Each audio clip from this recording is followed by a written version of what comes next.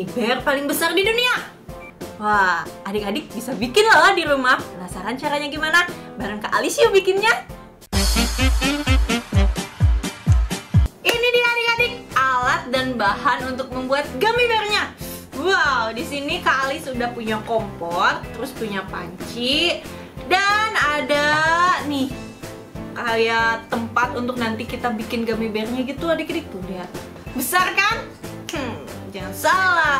Terus di sini Kak Alis juga punya gelatin berasa yaitu rasa strawberry. Karena Kak Alis suka strawberry.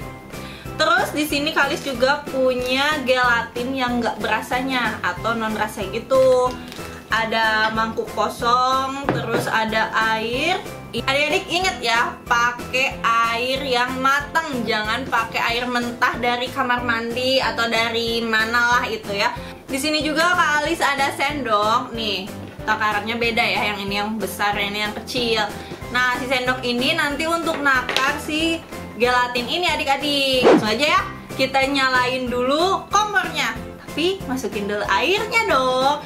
Nah airnya itu cukup dengan 2 cup gelas ini nih gelas big jumbo besar ya kita masukin ini udah satu wow udah dua cup aja. Sekarang kita nyalain deh kompornya.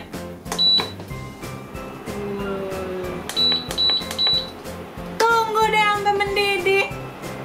Oke adik-adik. Airnya udah mateng nih udah mendidih. Kita matiin ya. Tapi adik-adik kalau mau bikin ini harus ditemenin orang tua ya. Karena adik-adik nggak boleh mainin api sendirian. Inget itu. Sekarang kita pinggirin dulu ya pindahin deh airnya oh ini air mendidih hati-hati jangan dekat-dekat oh. wow wow lihat asapnya lihat Iya, ini dia. Sekarang kita kasih dulu nih gelatinnya. Adik-adik, jadi takaran untuk ngasih gelatin ke air ini tuh 200 gram yang berasa dan 60 gram yang tidak berasa. Oke? Sekarang Kalis mau kasih dulu yang berasa ini. Oh. Tuh, kayak gini dalamnya. Hmm, wangi wangi stroberi adik-adik Kalis buka-buka dulu deh semuanya biar cepat itu tuh ini ya Kalis gunting gelatin ini. Oh. 200 gram ya.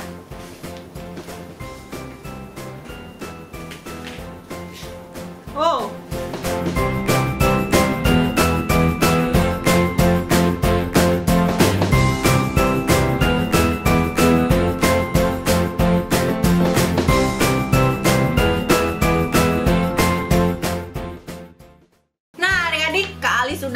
kasih gelatin yang berasa ya. Sekarang Kak Alis kasih yang tidak berasa 60 gram.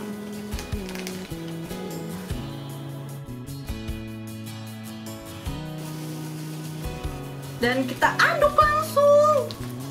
Aduknya yang rata ya. Wow panas. Hati-hati panas. Megang atasnya aja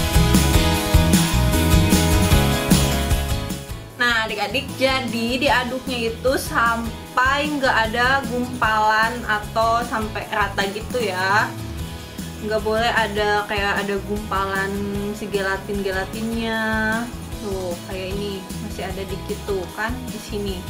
Tuh ini saya gumpalan gini kita aduk terus. Pokoknya nyampe nggak ada gumpalannya wah udah nih Kak Ali sudah nggak melihat ada gumpalan di sini adik-adik. Jadi sekarang Kak Ali mau langsung tuangin ke sini ke tempat untuk membuat gummy bear. Kalau udah, nih Kak Ali tuangin ya. Awas jangan yang belepotan.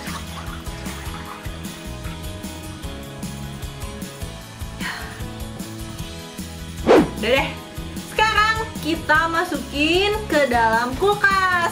Nah jadi nanti ini kan cair nanti berubah loh jadi jelly-jelly gitu. Kalau kita masukin ke kulkas Kalis masukin dulu ya. Wow gummy bearnya udah jadi nih adik-adik. Tuh lihat. Kayak gini. Udah lumayan keras ya udah nggak cair kayak tadi.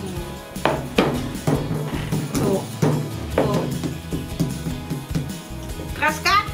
Tuh ya udah berbentuk bir ini ada matanya ini ada mulutnya hidungnya. Tuh. Sekarang kita potong ya adik-adik. Nah Kalis mau potongnya menggunakan ini. Adik-adik kalau mau menggunakan alat tajam atau benda tajam kayak pisau ini harus ditemenin orang tua ya. Nggak boleh mainin benda tajam sendirian oke? okay? Sekarang Kak Alis mau potong bernya ini atau si gummy bearnya kita potong di tengah aja.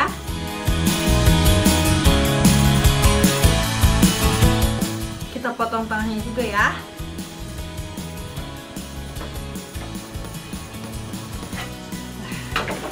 Terus kita keluarin deh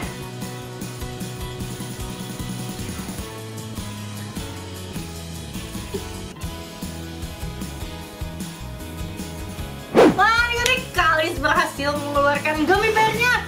Meskipun tidak semulus seperti yang seharusnya dan seperti yang Kalis bayangkan ya. Tapi nggak apa-apa. Lihat hasilnya keren kan? Tuh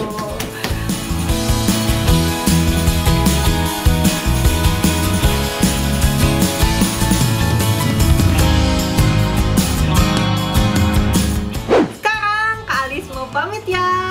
Adik-adik bisa tiru gummy bear kayak Kalis dadah